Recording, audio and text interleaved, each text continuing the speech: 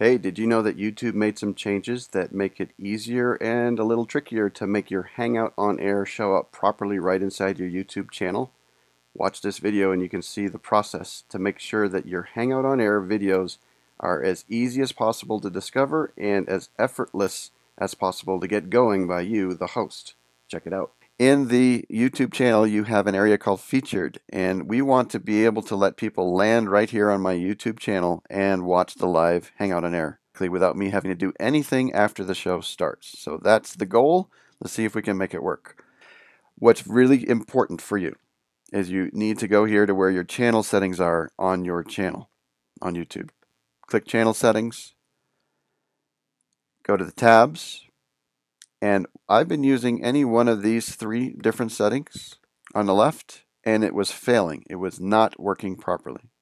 So what you need to do is choose this last one, Live Broadcaster. That's the one that seems to be the key to make this all work automatically. The other ones may work, but I know this one does work for sure. These past, when I tried testing them, failed. They, they just didn't work. You want to make sure your featured chat tab is what the default tab is, and you've got live broadcaster chosen, and then we're going to choose done editing. Okay, so now it's going to automatically start loading whatever the defaults were. I'm going to pause it for now, and we're going to go back and start up a Hangout. So we're going to choose Start Hangout in the upper right corner. This brings up our screen where we're ready to give it a name.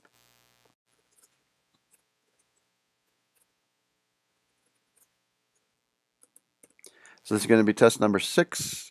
I'm not inviting anybody. If it was a real hangout, I might invite them a little later. In fact, I usually start out with just me and then I add other guests guests at a later time. So we're going to enable it. It's telling me what's the name of the channel that it's going to. This is correct. So I'll click OK. Then I click Hangout. So we've started our Hangout on air. I'm going to minimize this a little bit We've started our Hangout on air. We still need to be able to see this red button. I'm going to do one of the first things I do, which is turn on the Hangout Toolbox, which is a place where you can find the lower third, which is now shown as an LT, but we're looking for Hangout lower third. I've got some presets ready to go. I'm going to choose the all-in-one. And it is backwards, which has been normal. Moritz has, the guy that wrote this program, has just changed and added the ability to mirror it by choosing a button. So I've got it mirrored. I will hide those settings. We are still not started. We're still in what I call green room mode. And I'm going to go back here to YouTube.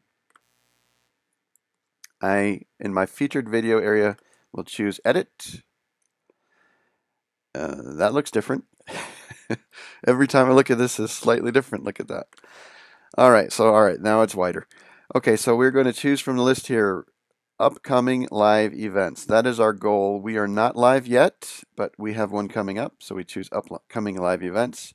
I'm going to tell it to automatically start playing so that when people land on the channel, it'll just start playing wherever we are in the show. Um, you can prevent ads or not. I'm preventing them now for this training video, and later I'll turn them back on. And then since that is what I want, I will then click apply. And this is not going to show the demo properly. I'm going to click edit, just see what we get to. Choose a featured video. I want upcoming live events. Let's turn this off. Oh, all right. So, hey, you might run into this. You might as well learn. So we're going to make sure that the one we're looking for is the right one and not the automatic one. Uh, again, leaving automatic start playing working and leave my ads off for now and then I'm going to apply. Now we should start to see, yeah, it is. My ads off for now and then I'm going to apply. Now we should start to see, yeah, okay, that's enough. So this is a live stream of me but it's not visible to the public at this point because I have not turned the start broadcast button on. So now going back to the Okay, so this is a training video. So let me get my head straight on that. This is what we're doing. We're training as to the process even as I learn it. Okay, so I'm going to start the broadcast. Everything is set inside YouTube. We have chosen edit. We've chosen it to do the upcoming live event.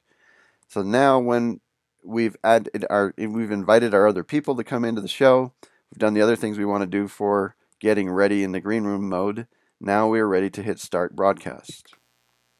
And I click that. It tells me it's going to be recorded. I say thank you. And we've got a 10 second countdown. We will hear two beep tones. The second beep tone after that is when we are truly live.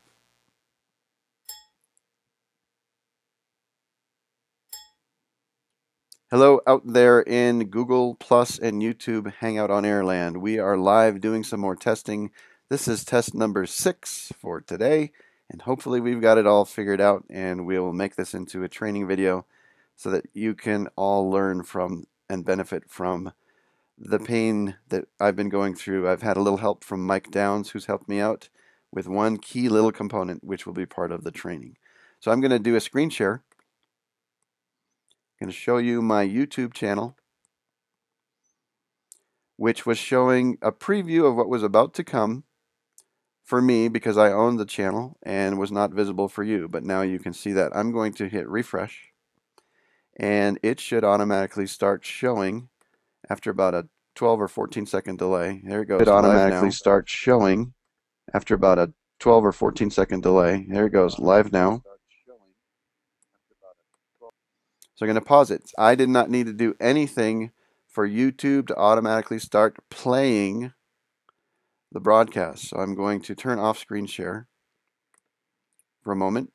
Now we're back. You see my face. So we're ready to end the broadcast. We did figure it out, and the key is actually let's do that as a screen share so I can show you. I'll make this into a training video in a moment. So I will bring us back to YouTube. So now you can see that. The key is under channel settings to make sure that your tabs are set to live broadcaster, this far right one. Prior to that, I was doing testing with overview or some of these other layouts, and that was not working. It was failing the automatic preload of the Hangout on air, and I would have to come in manually. If you turn on live broadcasting, then it's working right. So that right there broadcasting is the key. Let's go turn off the screen share. So there it is. Um, what can I say? This stuff is new. It keeps changing every single day, it seems. So I'm trying to help you guys stay up to date. I will make a training video as to how to go about doing this and publish that so you can all benefit from the behind the scenes stuff that I use to set things up and after the show ends. So that's it for now. See you guys later. Find me on Google Plus. Circle me, Ronnie Bincer. I'm your Hangout helper. See ya. Okay, so we've ended the broadcast. I'm still doing the training part of the video. And uh, we can go, we've still got 10 or 12, maybe 14 seconds of the broadcast still running. But once it's done, you can go back here and you'll see the live now should go away um, in those 12 seconds, which is going to be way too long for me to just sit around waiting. So I'm going to come back here. And this is the point uh, the Afterglow portion where we're inside the Google Plus Hangout. It is no longer live, but it was a Hangout on air. So you'll note here in the upper left corner, it says off air. That's sort of your cue that you can talk with your guests, talk about what just happened, mention things that they might want to do better the next time along with yourself, etc. And then you end the whole show, all of it gone, by clicking in the upper left corner the close button. So there you have it. That's been Ronnie Bincer telling you about the latest and greatest stuff with Hangouts on Air inside Google Plus and YouTube and how the two interact together.